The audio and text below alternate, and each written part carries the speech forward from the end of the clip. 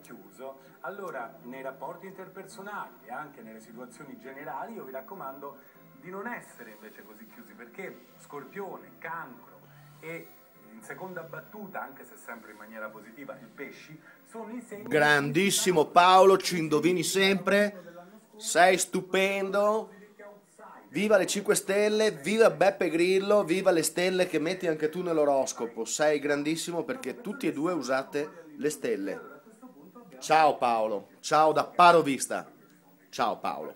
Paolo Fox, grande. Direi che è meglio non chiedere, perché lo scorpione ha sempre bisogno, magari non la- vi nasconde niente, però ha sempre bisogno di avere un qualcosa di suo, cioè una cosina, un suo angolino dove magari uno scrignetto dove dentro nasconde chi lo sa che. E magari a volte anche